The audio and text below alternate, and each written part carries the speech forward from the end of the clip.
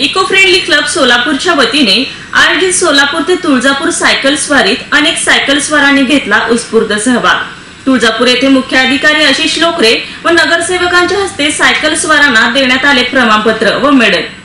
Eco friendly club Solapur आयोजित व eco cycle club जिल्हा रस्ता सुरक्षा समिती Solapur Hindustan petroleum corp limited C N S hospital national highway authority India पंच्याण्णव F M Solapur Gyandeep computer Solapur smart road safety foundation Solapur पुरस्कृत सोलापूर ते Tuljapur cycle rally काढण्यात आली होती.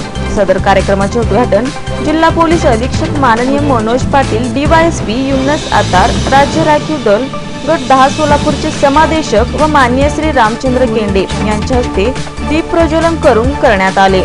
पुढे रॅली स्वागत करण्यासाठी डॉक्टर हेडगेवार रक्तपेढी सोलापूर यांनी सायकलस्वारांना ग्लुकोज पाण्याची सोय केली होती. सोलापूर ते तुळजापूर टोल नाक्यावर टोल चालकांनी सर्व सदस्यांना चहा व बिस्किटे देऊन स्वागत केले. ही रॅली तुळजाभवानी मंदिर येथून अग्निशमन दलाच्या मैदानात आली. त्या ठिकाणी तुळजापूर येथील मुख्य अधिकारी आशिष लोकरे व अनेक नगरसेवक यांच्या हस्ते सायकलस्वार यांना प्रमाणपत्र व मेडल देऊन सत्कारी यावेळी करण्यात आला.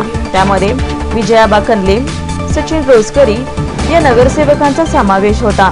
तसेच या रॅलीमध्ये सर्वात लहान चिरंजीव धैर्य गोरे यांनी बावन्न किलोमीटर सायकल चालवली. ही रॅली यशस्वी करण्यासाठी इको फ्रेंडली क्लबचे कार्याध्यक्ष श्री भाऊरावजी भोसले जिल्हा रस्ता सुरक्षा समिती सोलापूरचे सदस्य प्राध्यापक श्री सारंग तारे सर यांनी परिश्रम घेतले. नमस्कार मी प्राध्यापक सारंग तारे. मी स्वतः जिल्हा रस्ता सुरक्षा समिती सोलापूरचा सदस्य आहे. तिसाव्या राष्ट्रीय रस्ता सुरक्षा सप्ताहाच्या अनुषंगानं आम्ही तेवीस जून दोन हजार एकवीस रोजी सोलापूर ते तुळजापूर प्रबोधन व जनजागृती सायकल रॅली काढली होती. सदर रॅली ही eco friendly club eco cycle club C N S hospital smart road safety foundation जिल्हा रस्ता सुरक्षा समिती सोलापूर जिल्हा रस्ता सुरक्षा समिती Osmanabad Gyandeep computers national highway authority of India या सर्वांच्या संयुक्त विद्यमानाने काढलेली होती. सदर रॅलीचा उद्देश रस्ता सुरक्षा सप्ताहामध्ये सुरक्षित वाहतुकीचा जागर त्याचबरोबर जलसंवर्धन पर्यावरण बचाव इंधन बचाव असे वेगवेगळे सामाजिक संदेश देण्याचा होता. साधारणपणे आम्ही बावन्न किलोमीटर अंतर कंप्लीट केलेलं आहे.